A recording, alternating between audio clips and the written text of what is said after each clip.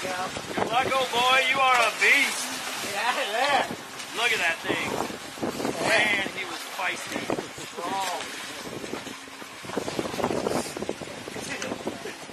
yeah. Thanks for the show, old man.